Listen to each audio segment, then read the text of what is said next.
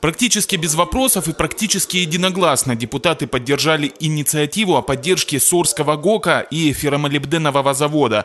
Предприятие переживает сейчас не лучшие времена из-за падения цены на продукт. Для примера, в январе 2015 года килограмм ферромолибдена на рынке стоил 28 долларов, сейчас в два раза меньше. В результате долги растут словно снежный ком. Республиканские парламентарии предлагают освободить Сорский ГОК от налога на добычу руды. Не навсегда навсегда до 2021 года. Что нам дает вот снижение налога на НТПИ, то есть взятие налога на НТПИ по ставке ноль? Оно нам дает, в общем, по году порядка 126-130 миллионов рублей, что позволит стабилизировать уплату налогов в местный бюджет и, как, как, ну, как правило, стабилизировать социально-экономическое положение в городе Сорске. Это в первую очередь.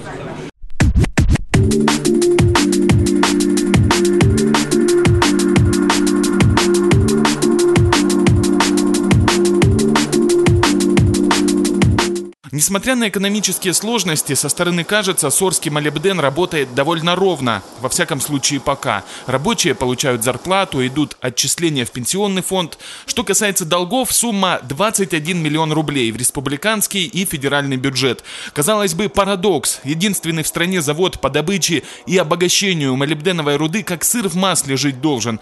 Только разведанных запасов под землей еще на 25 лет вперед. Несмотря там на, может, некоторые проблемы с себестоимостью, да, э, проблем со сбытом мы не испытываем. То есть товар по-прежнему остается востребованный, да, все, что мы производим, мы отгружаем да, и продаем. Э, ну, не знаю, недавно в новостях э, видел, что для космической промышленности наши российские разработчики придумали конструктивные элементы, в которых будет использоваться чистый молибден.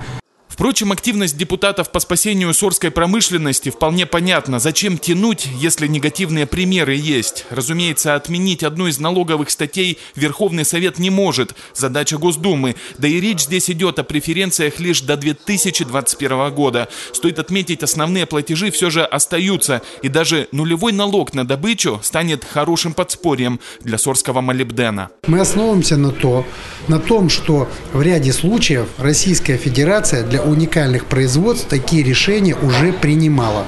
В частности, это касалось э, добычи и олова оловянной промышленности. Ну, я к примеру, там еще несколько таких позиций есть. То есть, когда рассматриваются эти вопросы в индивидуальном порядке, то навстречу идут именно на временное снятие налоговой нагрузки по НДП. Мы очень благодарны и правительству республики, и Верховному Совету в первую очередь, да, который вышел с этой законодательной инициативой, потому что НДП – это живые деньги комбината, это 130 э, миллионов рублей в год.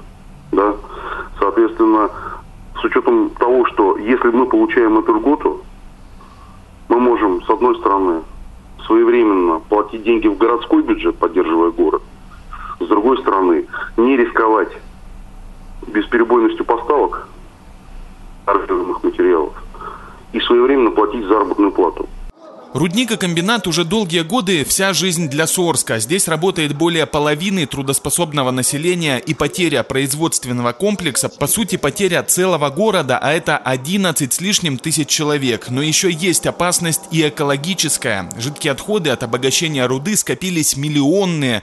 Сохранность и состояние сдерживающей дамбы обеспечивает комбинат. Если его не станет, нужно будет вкладывать дополнительные средства на обеспечение безопасности того же Сорска. В случае остановки и теоретическое прекращение деятельности на этом предприятии, экономические последствия для бюджета будут значительно больше, чем те 80 миллионов рублей в год, о которых мы с вами сейчас говорим.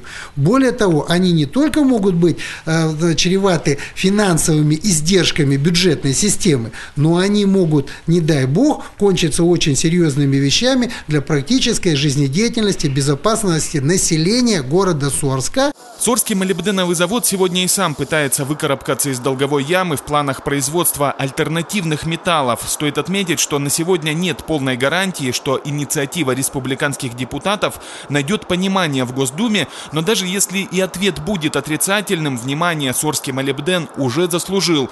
А с расчетом на то, что производство для страны стратегически значимое, пусть не налоговые, а другие виды поддержки из Москвы, вполне возможны.